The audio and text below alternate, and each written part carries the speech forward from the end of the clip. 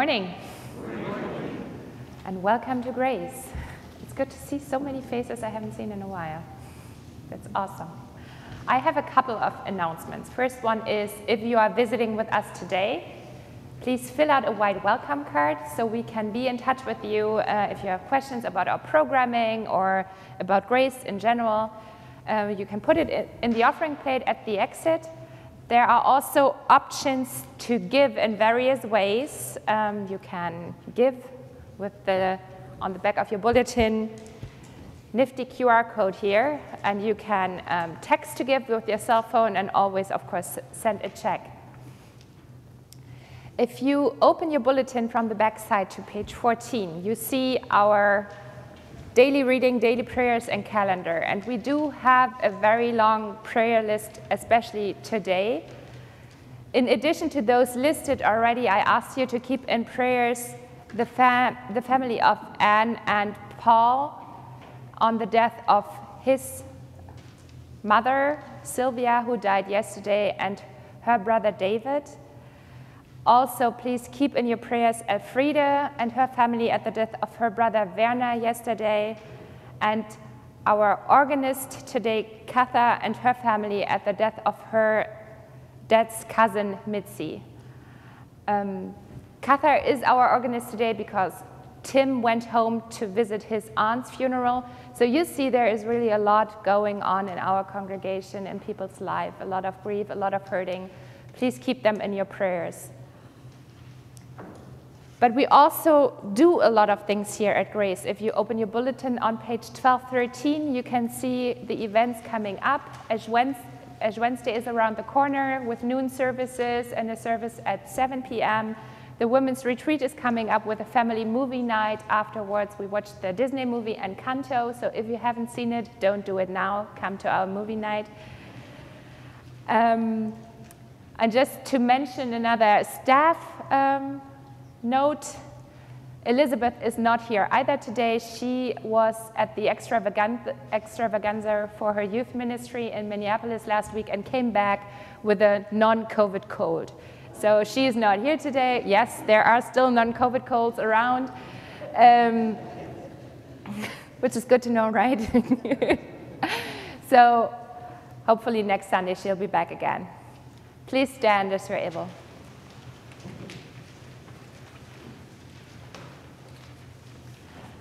Blessed be the Holy Trinity, one God, who forgives all our sin, whose mercy endures forever.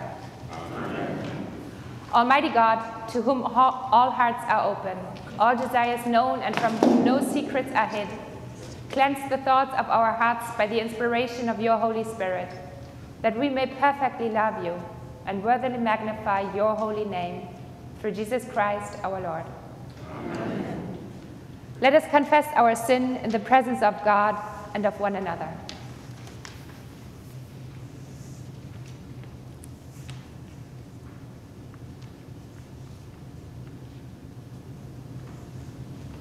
Gracious God, have mercy on us.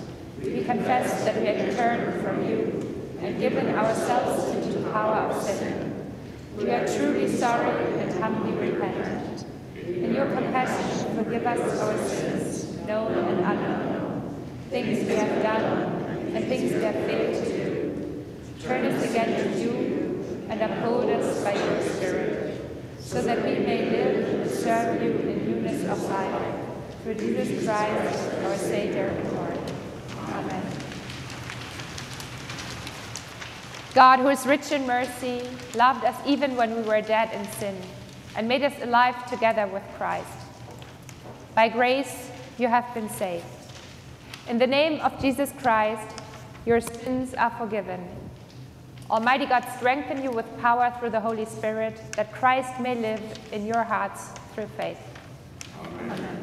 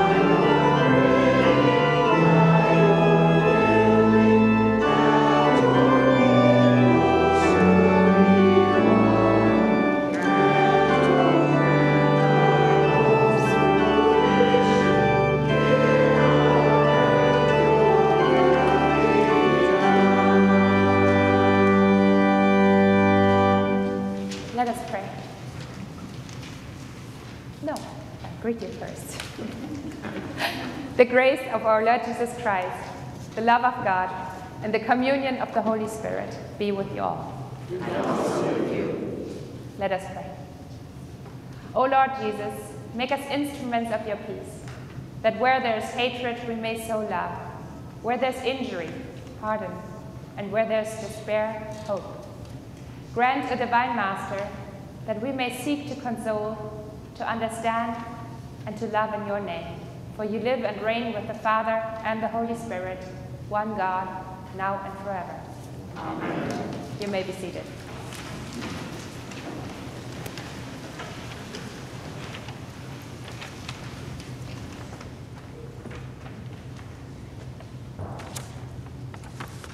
A reading from Genesis. Joseph said to his brothers, I am Joseph. Is my father still alive? But his brothers could not answer him, so dismayed were they at his presence. Then Joseph said to his brothers, Come closer to me. And they came closer. He said, I am your brother, Joseph, whom you sold into Egypt. And now do not be distressed or angry with yourselves because you sold me here. For God sent me before you to preserve life. For the famine has been in the land these two years, and there are five more years in which there will be neither plowing nor harvest. God sent me before you to preserve for you a remnant on earth, and to keep alive for you many survivors. So it was not you who sent me here, but God. He has made me a father to Pharaoh, and lord of all his house, and ruler over all the land of Egypt. Hurry and go up to my father, and say to him, Thus says your son Joseph God has made me lord of all Egypt. Come down to me, do not delay. You shall settle in the land of Goshen, and you shall be near me you and your children, and your children's children, as well as your flocks, your herd, herds, and all that you have. I will provide for you there, since there are five more years of famine to come, so that you and your household and all that you have will not come to poverty. And he kissed his brothers and wept upon them. And after that, his brothers talks, talked with him. Word of God, word of life. Let us sing the song together.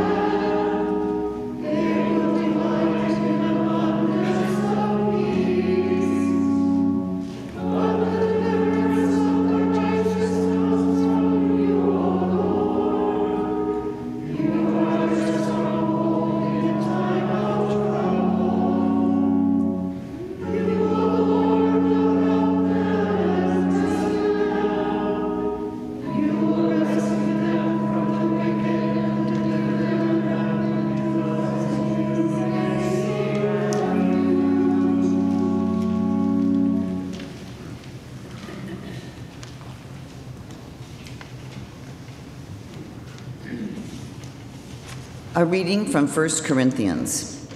But someone will ask, How are the dead raised? With what kind of body do they come? Fool, what you sow does not come to life unless it dies.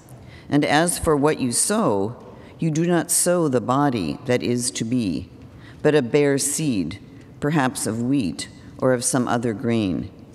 But God gives it a body as He has chosen and to each kind of seed its own body. So it is with the resurrection of the dead. What is sown is perishable, what is raised is imperishable. It is sown in dishonor, it is raised in glory. It is sown in weakness, it is raised in power. It is sown a physical body, it is raised a spiritual body. If there is a physical body, there is also a spiritual body. Thus it is written The first man, Adam, became a living being. The last Adam became a life giving spirit. But it is not the spiritual that is first, but the physical, and then the spiritual. The first man was from the earth, a man of dust. The second man is from heaven. As was the man of dust, so are those who are the dust. And as is the man of heaven, so are those who are of heaven. Just as we have borne the image of the man of dust, we will also bear the image of the man of heaven. What I am saying, brothers and sisters, is this flesh and blood cannot inherit the kingdom of God, nor does the perishable inherit the imperishable. Word of God, word of life. Please stand as you are able for the reading of the gospel. Gospel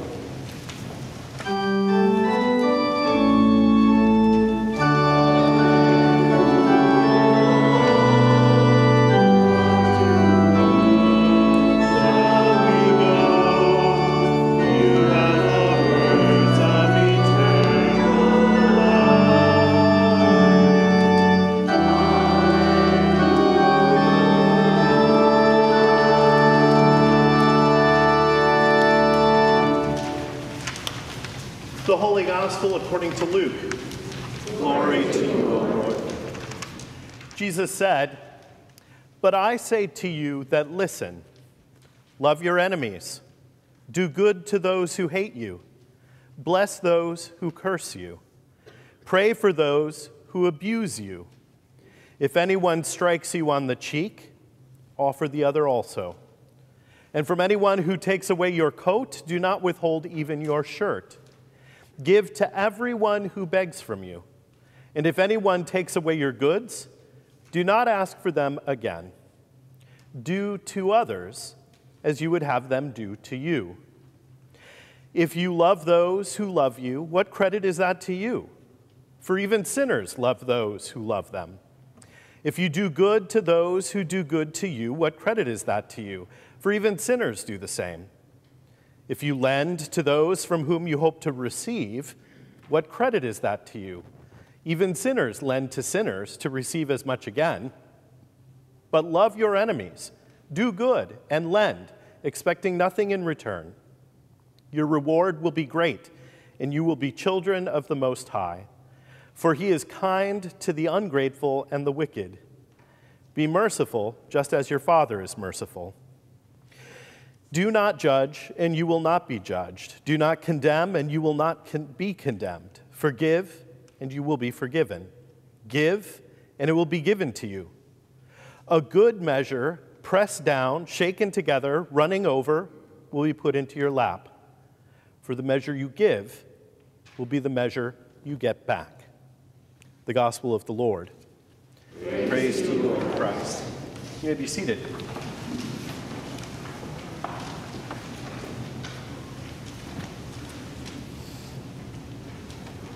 I wanted to uh, talk about a couple of things this morning, uh, realizing that I don't always cover some things in my newsletter articles or various things like that, and um, not saying that I get up here to preach and I have a captive audience, but I have a captive audience. I wanted to mention one of the great things in our tradition, the ELCA. Across the United States, we have 26 universities and colleges that are a part of a proud legacy of education, which is an important part of who we are as Lutherans because we were founded by a graduate school professor.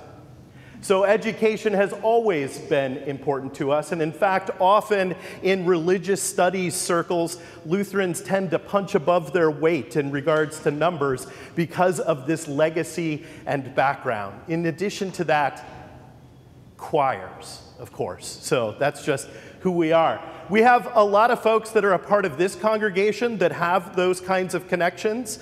And in fact, we have two students currently from our congregation at ELCA schools, and it's fun that both of their families are represented this morning. So, St. Olaf and Cal Lutheran uh, currently represented.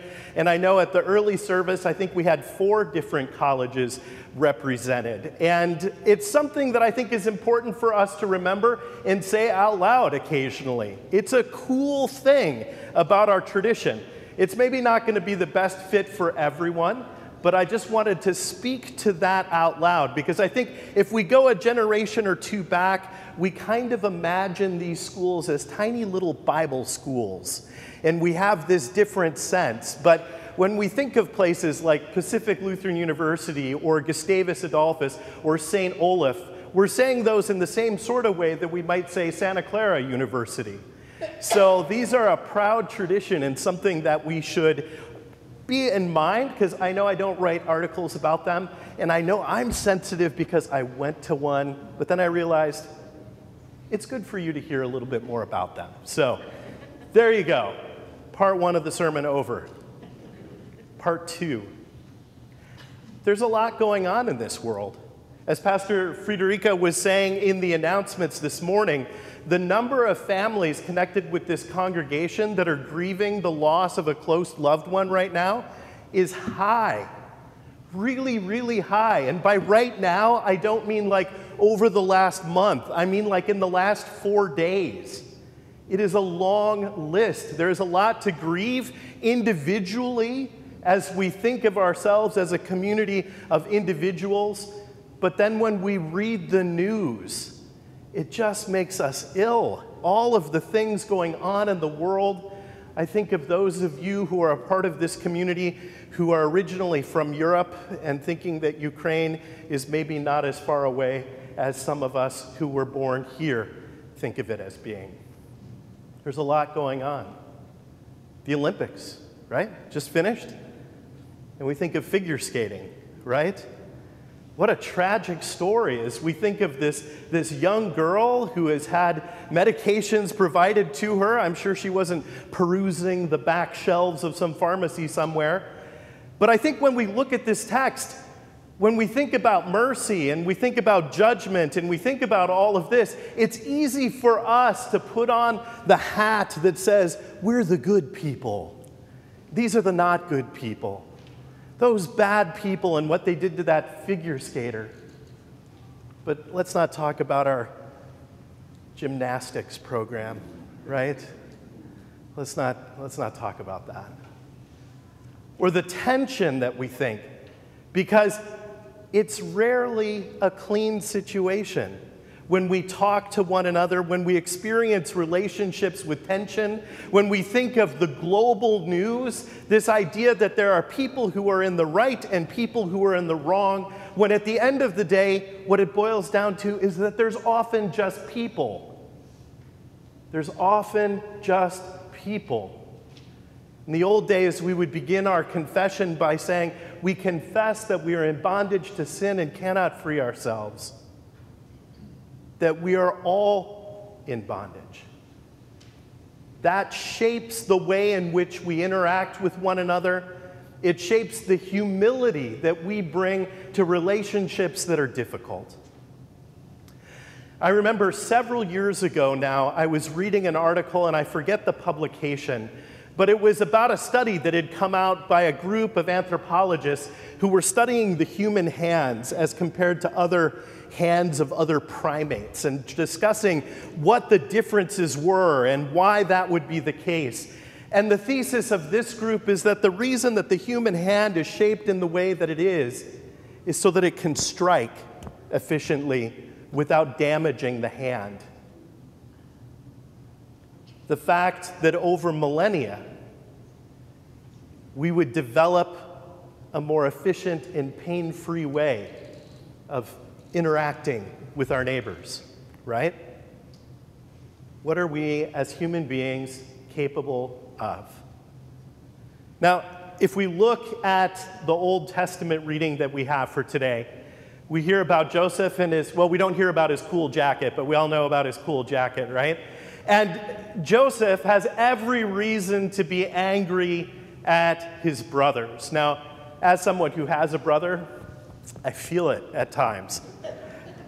But there is this, this story that we have of his brothers being angry. They chuck him in the well. He gets bought up by slave traders and taken to Egypt. But then he does well and he becomes prominent in Egyptian society and government. And I suppose we could step back and say, well, how great for him that he was taken into slavery. But I don't think that's the lesson that we're called to draw from it. But the sense of why is he not punishing his brothers? Where is the anger and the hatred? Where is the sense that you've done me wrong and I'm going to do you wrong because I'm in a position to do it? We don't get that in this story. But do you notice how the brothers expect it? They were afraid because they know how we as human beings interact. That there was likely to be punishment that would land on them. In desperate times, with their extended family in the midst of a famine, but there's a phrase in this text that I want you to think on through this week. Joseph brings them close to him, even in their fear, tells them that he will care for them. And then there's a phrase that I'm assuming is smoother in Hebrew, but the oddness of it in English, I think, helps it stick in your ear. He wept on them. He wept on them. Now, what other ways could he have approached? Like this, right? We know lots of stories. In fact, honestly, most stories would go that way. But that's not what Joseph does. And that brings us in some ways to the gospel text that we have for today. This classic story of turning the other cheek this sense of returning rage with mercy. That's a challenge. Certainly in modern generations, we've said, well, hey, you know, not in every case, not in every situation. I think what I would like to say on that front is that when we talk about love, love sometimes means boundaries. Love sometimes means a sense of needing to speak to one who causes harm. But nonetheless, Jesus is calling us in a society whose first response is often at the individual level, within corporations or governments, one of rage to any insult or slight, particularly these days. That we are called to bring a word of mercy, a word of grace. And I wonder if there isn't something from when I was younger that was probably true for you as we think of siblings, where we would often say to one another, You first, you first, right? You do it first. You first.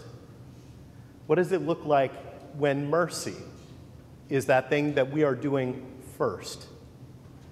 and that we are the ones stepping out and giving mercy where the world expects rage and anger?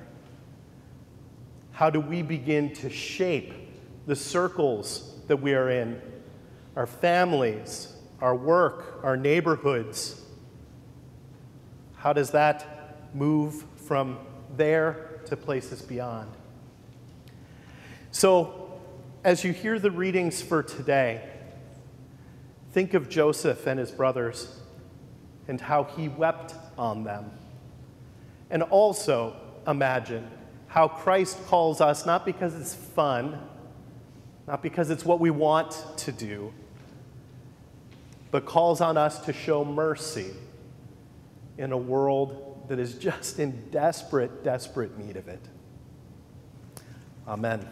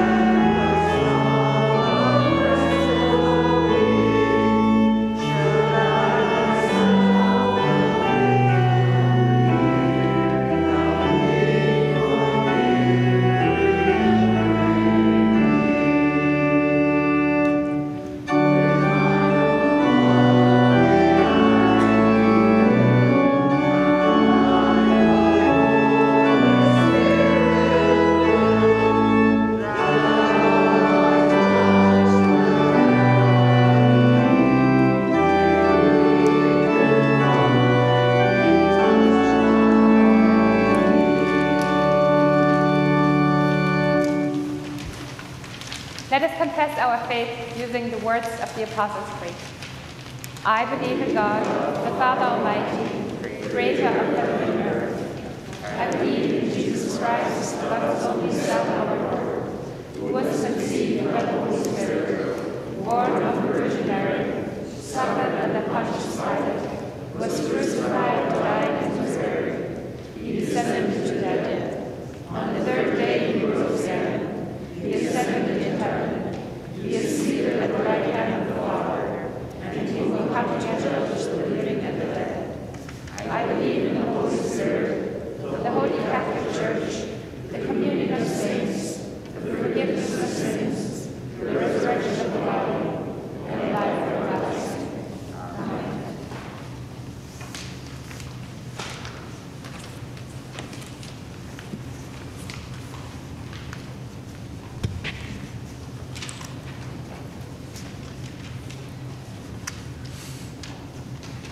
The Spirit of the Lord is poured out upon us in abundance, so that we are bold to pray for the church, the world, and all that God has made. You teach us to love our neighbors and enemies alike. Encourage your church to follow the leading of your love, especially when it is risky or difficult. Help us to show mercy just as we have first received mercy. God of grace, nurture fields that lie dormant, resting until it's time to bloom again. Bless farmers and all who cultivate fields and urban gardens. Give favorable weather for planting. Bring forth from buried seed an abundant harvest, and guard against famine and disease. God of grace, look upon our world with mercy, that we delight in an abundance of peace. Protect all those whose lives are marred by war and civil unrest especially the people of Ukraine, Russia, and Belarus. Release political prisoners and amplify the voices that challenge us to seek forgiveness and pursue nonviolence. God of grace, your people cry out for mercy. Console hearts that long for forgiveness mend broken relationships, heal and comfort bodies that suffer chronic pain or illness, especially to Kai and Jerry. Strengthen and deliver all whose spirits are troubled. Be with all those who grieve and all, uh, especially Tim and his family, Beth and her family, Elfrida and her family, Katha and her family, Anne and Paul and their families, and all those we name in our hearts or out loud now.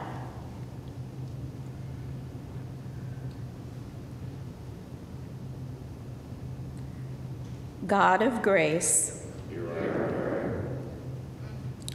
you bind us together into one family. Teach us to forgive one another and to resolve conflicts with humility and patience.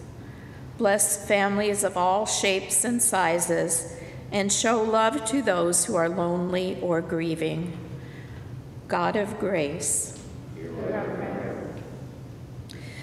we praise you for the saints who have inherited the fullness of your kingdom, especially Marlis, Mike, Werner, Mitzi, David, and Sylvia, as you have raised them to imperishable and eternal life, sustain us in faith by the promise of a resurrection.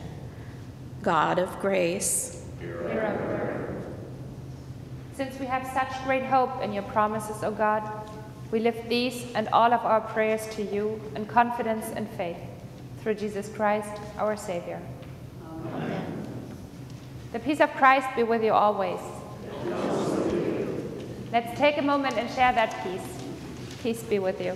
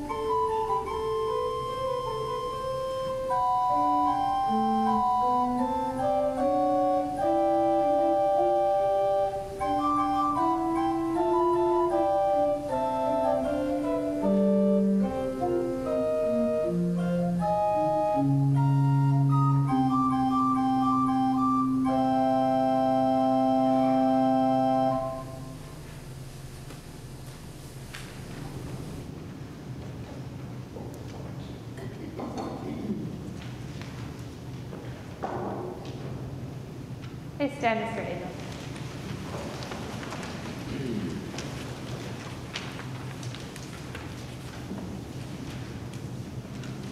The Lord be with you. And also with you. Lift up your hearts. We lift them to the Lord. Let us give thanks to the Lord our God. It is right to give our thanks and praise. It is indeed right, our duty and our joy, that we should at all times and in all places give thanks and praise to you, Almighty and merciful God, through our Savior Jesus Christ, who on this day overcame death and the grave and by his glorious resurrection opened to us the way of everlasting life. And so, with all the choirs of angels, with the church on earth and the hosts of heaven, we praise your name and join their unending hymn.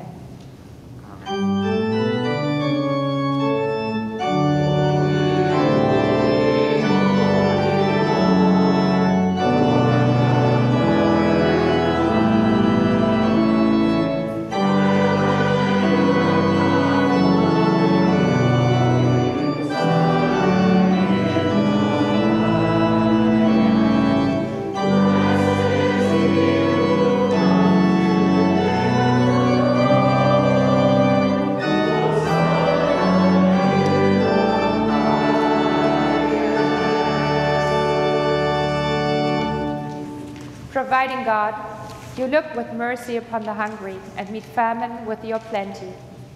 Send your Holy Spirit upon your church and make your people merciful as you are merciful. Sanctify this bread and cup, that they may be for us the body and blood of your Son. In the night in which he was betrayed, our Lord Jesus took bread and gave thanks, broke it, and gave it to his disciples, saying, Take and eat.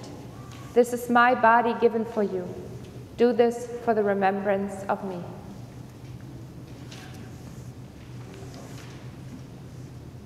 Again, after supper, he took the cup, gave thanks, and gave it for all to drink, saying, This cup is the new covenant in my blood, shed for you and for all people for the forgiveness of sin.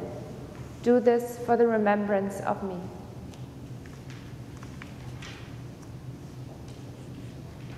Merciful God, by the cross of Christ, you transform hatred into love, curse into blessing, and evil into good. Meet your children in you today with the power of your Holy Spirit, that wherever there is hatred, they may live love. Wherever there are enemies, they may do good.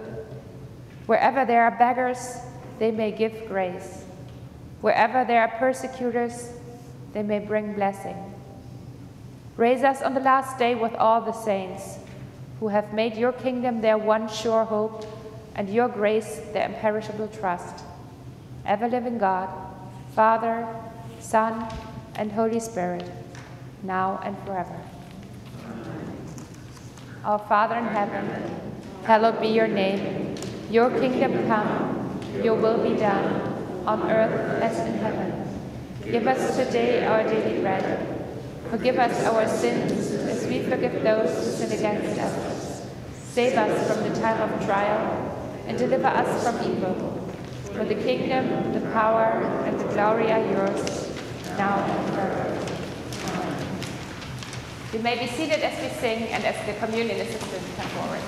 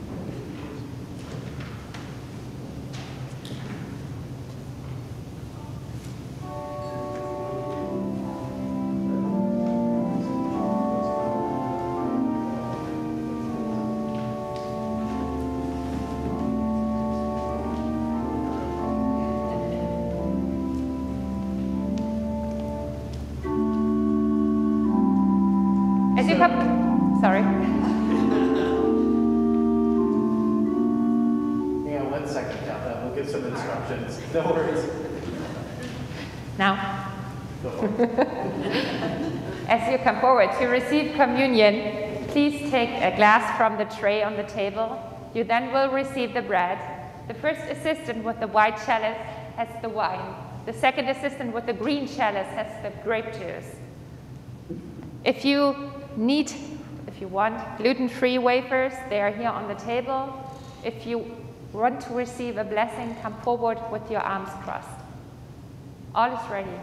All are welcome.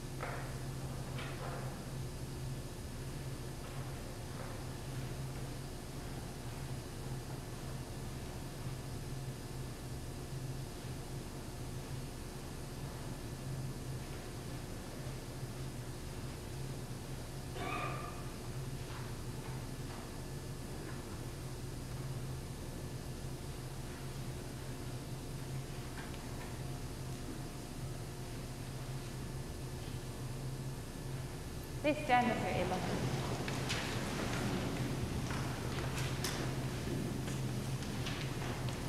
Let us pray.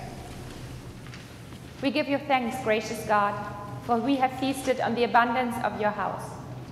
Send us to bring good news and to proclaim your favor to all, strengthened with the richness of your grace in your Son, Jesus Christ. Amen. Amen. God, who leads you in pathways of righteousness, who rejoices over you, who calls you by your name, bless your going out and your coming in, now and forever. Amen.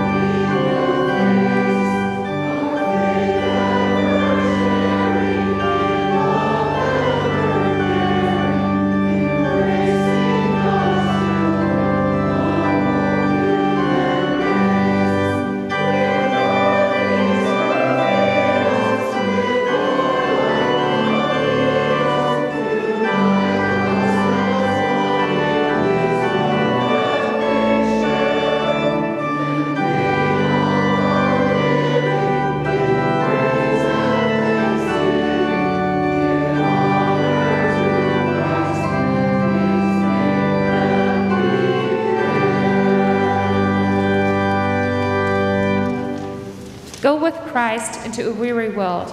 Share the good news.